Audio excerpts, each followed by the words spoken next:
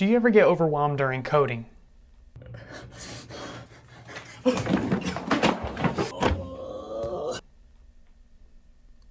Hey, what's up everybody? This episode I'm going to be answering some of you guys' questions about data structures and algorithms, but you guys are actually really terrible at asking questions because I got all kinds of questions. So we might go a little bit off the track, but let's just start with some data structures and algorithm stuff and see where this goes. Most of these questions come from my Instagram, so you can follow me there at Caleb Curry.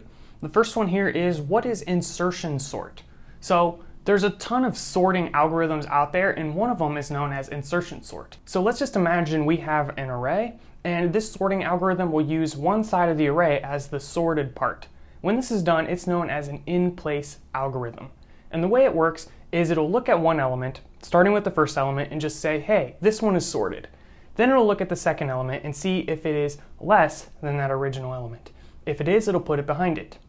For that third element, it actually has to check two other elements, and it will fit where it is less than one and greater than the other.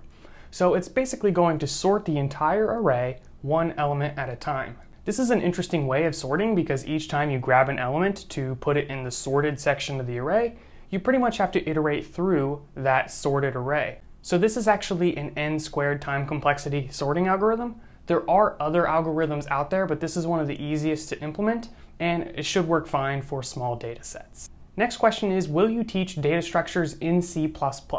Now, I've actually been asked this a lot. I have a huge C++ community following me, and I actually decided I'm going to be doing most of my data structure and algorithms teaching in Python. It is fairly easy to take algorithms and data structures for a different language and apply them to C++. And Python actually has some things in common with C++, such as multiple inheritance. So it might not be that bad to watch some of the Python videos and apply them to your C++ programming.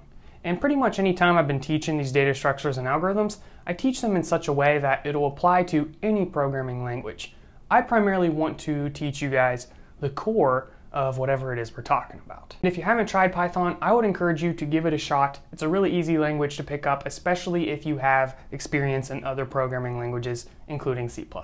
This one is not really related, but sort of related, and that is, did I like calculus in college? Well, this is an interesting subject. When I first started calculus, it was a living nightmare, and I actually got tutoring pretty much my entire undergraduate program. I had a great friend who was good at math who helped me out pretty much on all my homework assignments. Now, I did them myself, but he did help me learn the material, and this was tremendously helpful. And once I started to understand the material, I was like, hey, this ain't so bad. It's kind of fun, even. At first, I wasn't a huge fan, and once I actually understood what we were trying to do, the reason behind it, then I started to enjoy calculus. And you might be wondering, do you have to know a lot of math to be able to do data structures and algorithms? And I would argue that to have a pretty decent understanding of data structures and algorithms, you do not have to have a lot of math. In fact, the series I'm doing on data structures and algorithms right now uses very little math. We might get into some, but it's definitely not an essential component to learning the basics. Now this one is an interesting question, and this will come in handy with data structures. Do you visualize in your head or prefer drawing code structure? A little bit of both, mainly because I can't always write, so if I'm at home or I'm walking, I will just think through stuff in my head. But I find it really hard to actually grasp a concept just by thinking through it enough. I actually will usually have to write it down, and I really, really enjoy writing things down on paper, or as you might guess, a chalkboard or a whiteboard. This is just like the perfect way to learn, and then when I'm done, I'll just erase the chalkboard.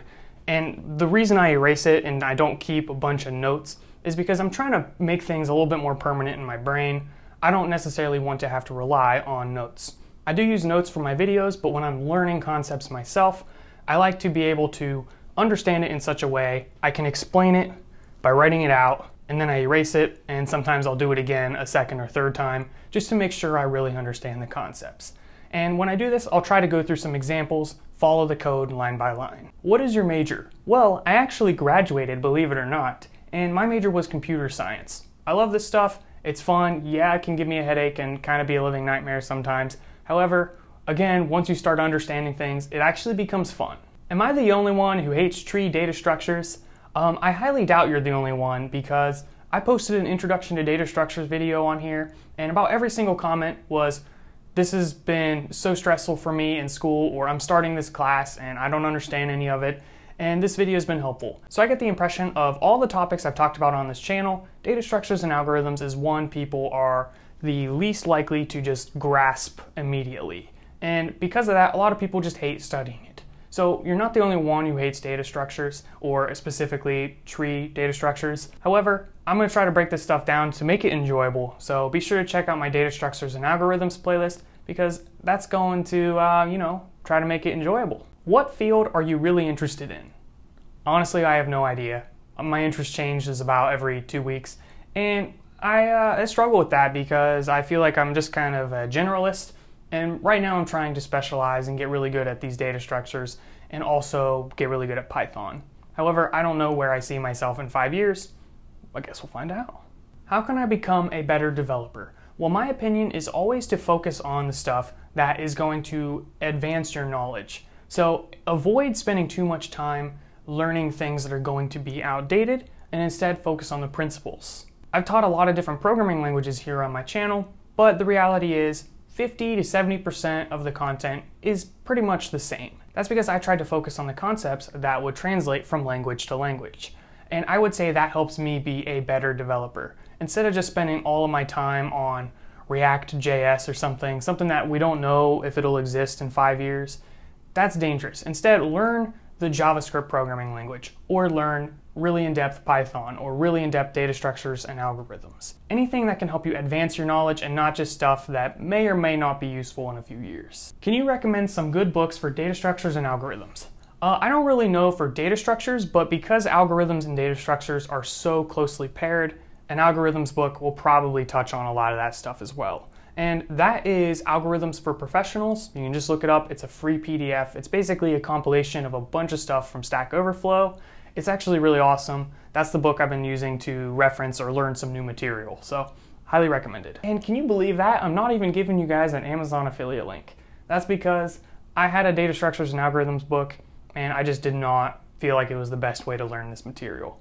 Especially if you're having a book where it indexes everything from one, like the book I was reading, it gets really confusing when you try to actually implement that stuff in a programming language. Will you do an advanced Python guide? Sorry for bad English. First off, your English is better than most people's. And also, I intend on doing some more advanced Python videos.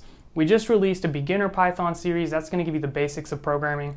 And now I'm kind of in the, the normal programming. So not beginner, but just average or intermediate.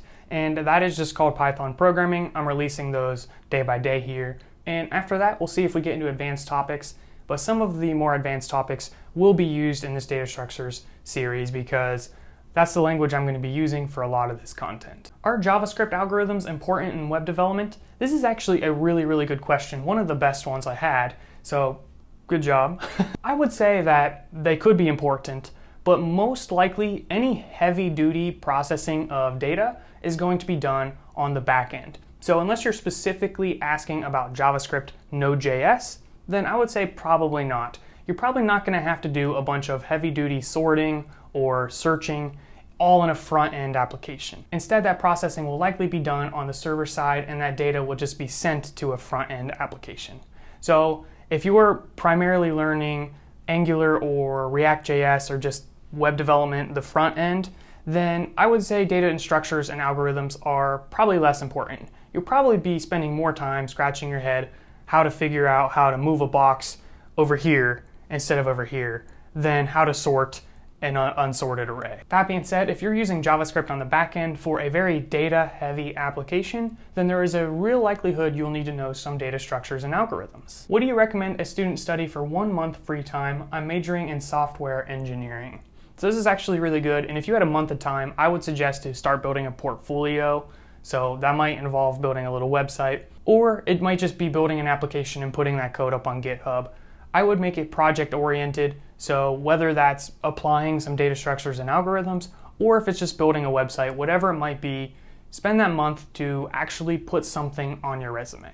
What programming language was your first? I'm embarrassed to say this, no, I'm just playing, guys. It was PHP, and that really pushed me into the web development field, which I then learned a little bit about JavaScript.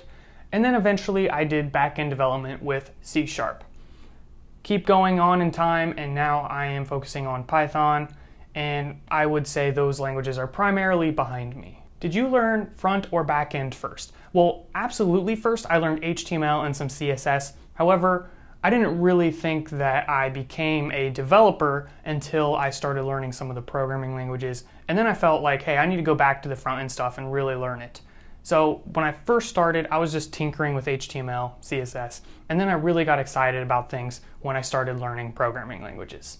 Which is interesting because when I was learning HTML and CSS, I was actually a little bit scared to learn the programming languages and I put it off way too long. And I was like, ah, no, I just want to use like HTML. This was back in like high school, so eventually I picked up some programming and I got excited about it, and that's actually what I prefer now. Kind of hate HTML and CSS if I'm being 100% honest. So thank you guys for watching. Stay tuned for the next video and be sure to subscribe. Let me know if you got any questions. Follow me on Instagram and send them my way. See ya.